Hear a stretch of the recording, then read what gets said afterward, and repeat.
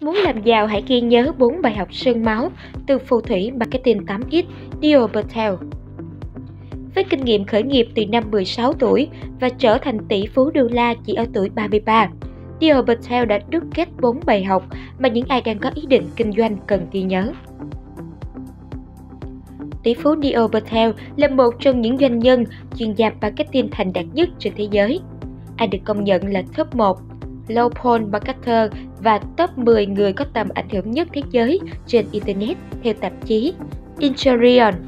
Ngoài ra, tỷ phú này còn được vinh danh là top 100 doanh nhân kiệt xuất dưới 30 tuổi bởi Tổng thống Obama, top 100 doanh nhân xuất chúng dưới 35 tuổi bởi Liên Hợp Quốc. Với bề dày kinh nghiệm khi chinh chiến tại rất nhiều công ty, tập đoàn, vị tỷ phú trẻ tài ba đã chia sẻ 4 bài học mà bất cứ một người mới kinh doanh nào cũng cần ghi nhớ. Và cho dù có áp dụng 4 bài học này đi chăng nữa, Neil theo nhấn mạnh chúng ta sẽ vẫn gặp thất bại. Quan trọng là chúng ta biết cách nhìn nhận vấn đề để tránh đi vào vết xe đổ, từ đó xây dựng một lối sống và cách làm việc tích cực nhất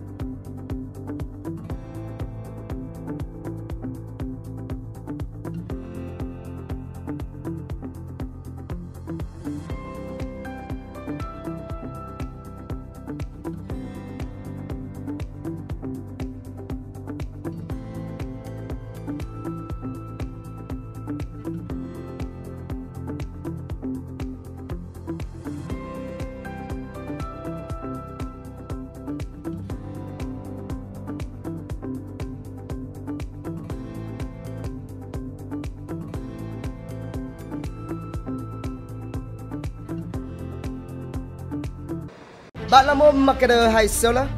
Bạn là chủ shop hay chủ doanh nghiệp? Truy cập ngay ATP Software.vn ATP Software.vn tự động hóa và làm chủ công nghệ giải pháp mạnh mẽ thúc đẩy doanh số dành cho bạn. Hãy đăng ký kênh để cập nhật kiến thức và thủ thuật kinh doanh mới nhất.